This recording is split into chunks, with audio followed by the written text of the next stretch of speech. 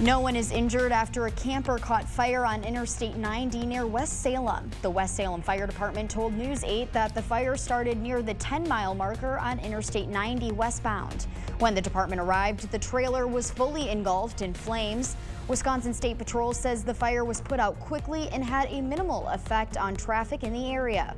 Photos show significant damage to the back half of the camper.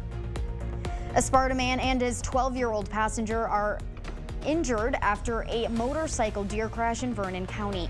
According to a report, Russell McElroy and his daughter were riding his motorcycle when a deer jumped into the road. He braked but wasn't able to stop in time and hit the deer. He was wearing riding gear with no helmet while his daughter was wearing a helmet and riding gear.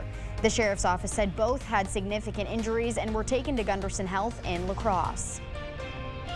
And up in Alma, a celebration of all things medieval. Castle Rock Museum invited the community for its annual Fire in the Shire event. Visitors got the chance to watch a fire-breathing and sword-swallowing performance.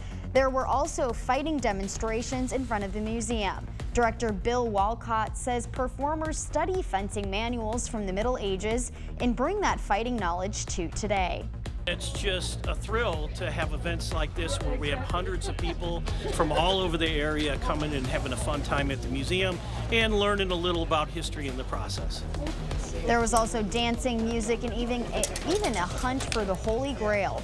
This is Castle Rock Museum's biggest event of the year. If you missed out and would like to learn more about ancient history, the museum is open on weekend afternoons all summer long. The Upper Mississippi River National Wildlife and Fish Refuge swore in some furry friends as ambassadors. The Bark Ranger program has begun.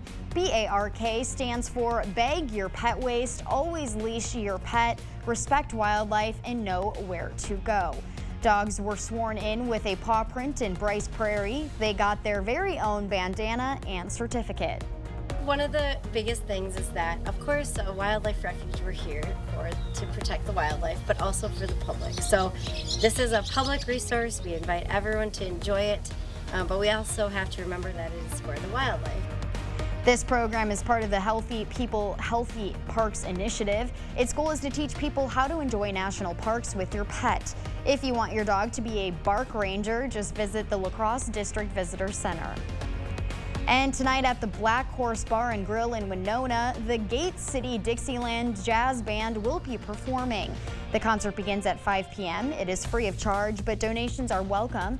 They will be playing Dixieland and other classic jazz favorites. This eight-member band has been playing together since 1978.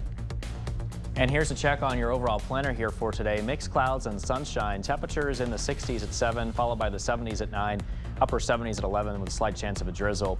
And then we're in the 80s here as we head into the afternoon with mixed clouds and sunshine there. A little bit hazy and smoky thanks to the Canadian wildfires to our north, causing those air quality alerts, which are in effect until 8 o'clock this morning. Now tomorrow, a slight chance of a shower or storm possible. Otherwise, expect quiet conditions through the rest of this week with highs into the 80s, maybe another chance of storms on Saturday perhaps, lows in the 50s and 60s. But uh, overall, I would say uh, enjoy it here. Looks like uh, we got several mm -hmm. days of some pretty dry weather. A couple of days we could see some rain chances, but you know we're not talking about a washout by any means. No, and I've been enjoying this heat, and I yeah. think everyone has oh, been. Absolutely. Thanks, Derek, yep. and thank you for watching News 8 Now. Don't forget to keep up with the news of the day on news8000.com. We will have the latest updates to today's top stories on News 8 Now at noon. Have a great morning, everyone, and thank you for watching News 8.